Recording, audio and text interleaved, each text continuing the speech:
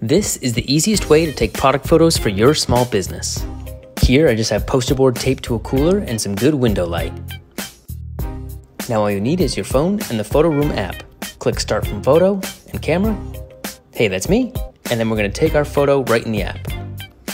Now you'll see, once you take your photo, it's gonna scan the image and remove your background.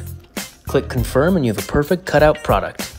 In Photo Room, there are a bunch of options to choose from for your product image. For now, we'll hit Classic and go with the white background. What's great is the app has unlimited background removal for free users, and even has a batch mode for pro users. And now that I've made some adjustments, we've got our product image. Now the app also has some cool templates, so I'll go ahead and click here and readjust the size of the shoe. I lighten the shadows and the highlights like in the last photo, and I'll add a shadow here and move it where I want it. Now that I'm done, I can go and click here for export and save the image.